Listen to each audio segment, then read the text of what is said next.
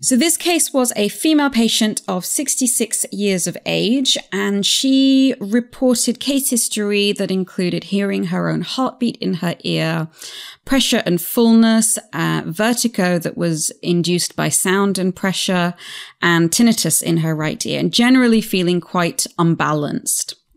Now, her audiometry results didn't show anything too significant, maybe a very small conductive component uh, at 500 hertz, but on the whole, um, a pretty normal audiogram on both sides.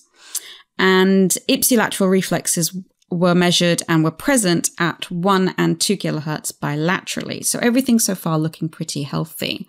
Now let's have a look at our 3D uh, graphs of our wideband tympanometry results. Lillian, we've got all the colors of the rainbow here. Is there anything um, sticking out as concerning or unusual for you and what we can see at the moment? Uh, not in particular. There may be a, uh, amount of energy a little bit greater than normal being absorbed. Uh, it's quite a lot of colors in there, but nothing we can say with uh, certainty just by looking at the 3D graph. Uh, for the general parameters, we have the ear canal volume, we have the resonance frequency, we have the peak pressure. Uh, that all look normal from the given age of this patient and quite a clean uh, measurement as well. It doesn't look like there's any noise in in the 3D graph, is there?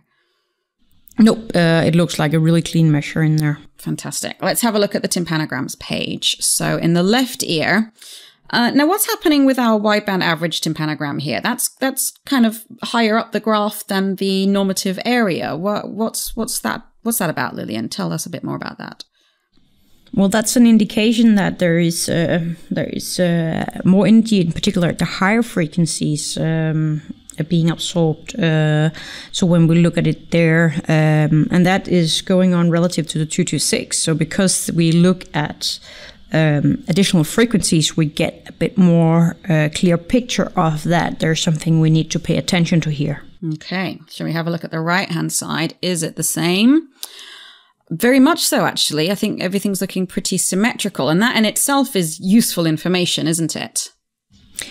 It is, uh, and a um, good thing to pay attention to also here. That's the symmetry, as uh, as you say that that it is uh, likely to be a condition that we're looking at where uh, it's symmetrical uh, for left and right side, and that narrows down the potential conditions a little bit in it. So um, it's a good thing to have in mind also here. Yeah, very interesting point. Let's have a look at the absorbance graphs. So here, again, fairly symmetrical, would you not say? What what would you take from this? It's a it's quite symmetrical look that we have here. Um, based on the results that we have had so far, I would assume that it's um, nearly normal middle ear condition of what we see.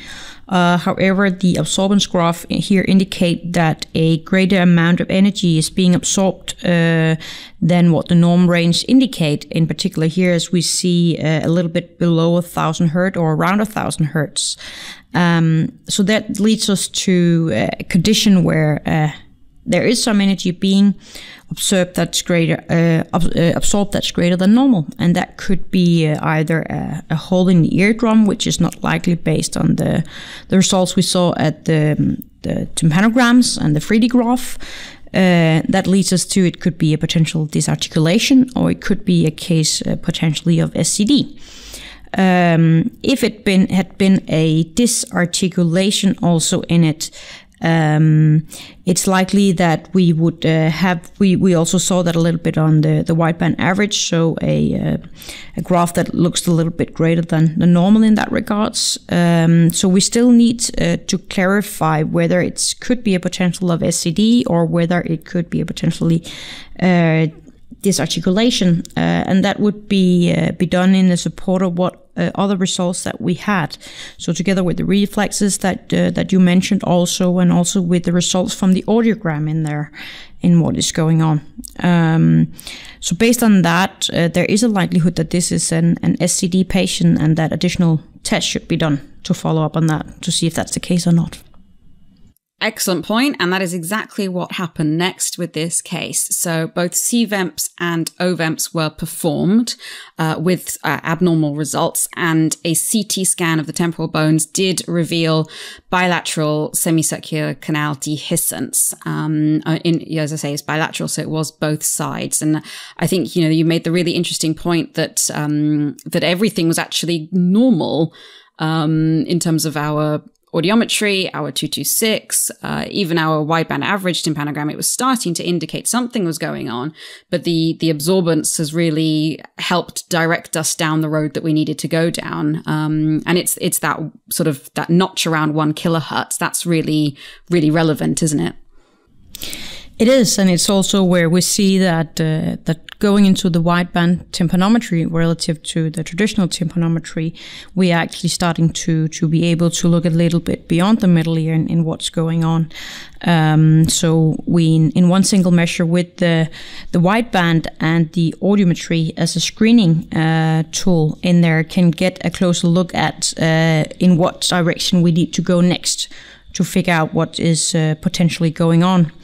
Uh, and in particular here getting the information from just doing the WBT graph rather than having to do several uh, pure tone uh, tympanometries at once, which takes longer. Absolutely. It's a very quick measurement to perform and gives you uh, an enormous amount of data uh, upon which you can make these management decisions. So, thank you so much for your comments on this one. Thank you.